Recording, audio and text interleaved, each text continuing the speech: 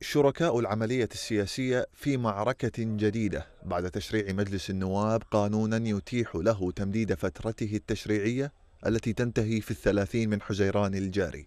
الخطوة البرلمانية تلك تتعارض مع المادة 56 من دستور عام 2005 والتي تنص على أن تكون مدة الدورة الانتخابية لمجلس النواب أربع سنوات تقويمية تبدأ بأول جلسة له وتنتهي بنهاية السنة الرابعة. الأمر الذي من شأنه فتح الباب أمام أزمة جديدة تضاف إلى أزمات العراق السياسية لا سيما بعد فضيحة تزوير نتائج الانتخابات.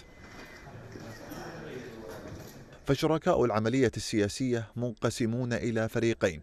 الأول يرى في تمديد عمر البرلمان ضرورة ملحة لتجنيب البلاد الفراغ الدستوري الذي سيبدأ مطلع تموز المقبل.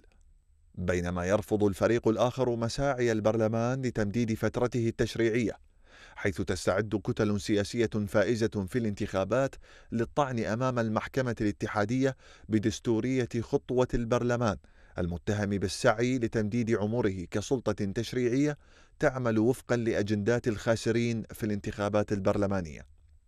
ووسط هذا الصراع الدستوري يحذر مراقبون محليون من خطورة توجهات البرلمان التي من شأنها وضع البلاد أمام مرحلة جديدة من الصراع الدستوري والقانوني بين الشركاء السياسيين.